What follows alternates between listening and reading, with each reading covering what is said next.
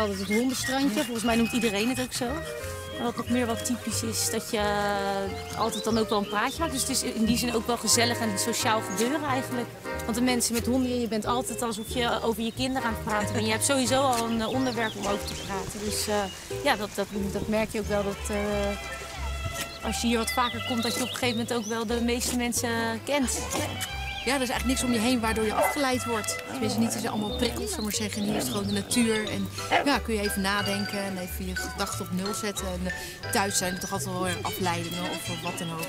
Uh, gewoon hier lekker zitten, een beetje nadenken. Een beetje in de wind, in de zon. En uh, lekker met, met Basje een beetje ja, een beetje ren, dus hij rennen, de bal gooien en zo. Ja, het is een mooi weerhond. zodra, het, ja, zodra het regent, dan kijkt hij me echt aan van... Nou ja, ik weet niet wat jij gaat doen, maar ik ga niet naar buiten. Dus, wat dat betreft is hij wel typisch.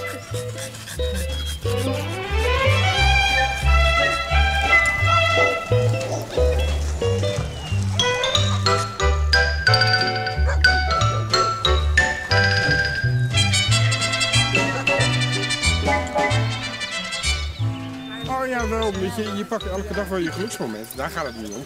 Maar er zijn ook momenten in het leven wat, wat, hè, dat je flinks ups en downs hebt. En, uh, ja, en als die achter elkaar komen, dan uh, moet je dat uh, maar gebruiken als een soort als een leerschool. En iets mee gaan doen. En allemaal even een plekje gaan geven. En niet gewoon eroverheen walsen en, weer verder gaan.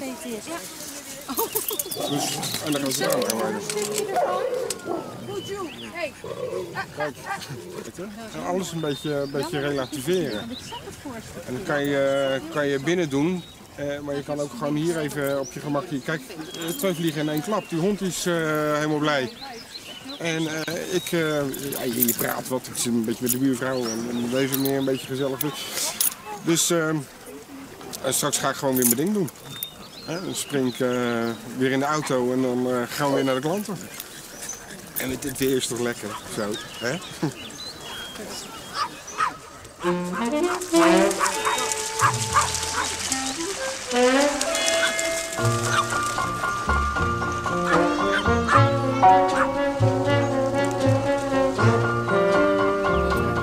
Nou, lekker biertje nemen en dan weer naar huis toe. Ja. Even ontspannen. Ja, mijn vrouw was vrij vandaag, dus... Uh, lekker toch? Ja.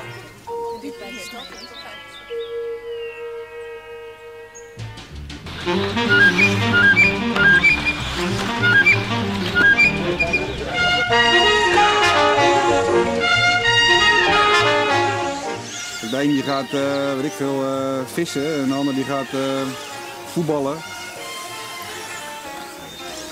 Ja, wij doen deze.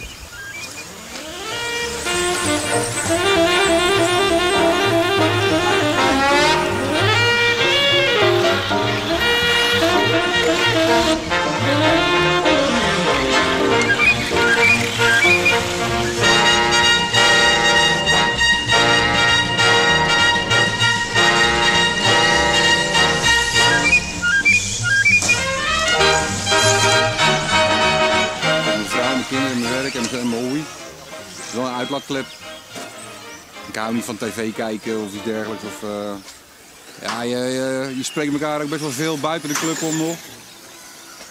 Ja, het, is, uh, zijn net oude Nelen dan, hè. Je hebt het altijd over het autootje. De vriendin wordt helemaal gek van af en toe. En zij zegt ook altijd, ze net stel oude wijzen bij elkaar, die, die mannen met die autootjes. zet nu de accu erin, sluit alle draden aan. Voor een wedstrijd ben ik wel een dag mee bezig, meestal op zaterdag, de dag voor de wedstrijd. Maar voor de rest nu twee uurtjes per avond om alles gewoon eh, gereed te maken voor het weekend. Voordat hij naar de vereniging gaat, heeft hij een bepaalde vorm van spanning. En als hij hier is, dan zie je het echt helemaal opladen. En dan wordt het eh, de ontspanning en dan het bezig zijn met hobby, het met elkaar praten, uh, levert hem ontspanning op. Het is serieuzer geworden. Aan het begin was het meer spelen, rijden. En nu is het gewoon een serieuze competitie.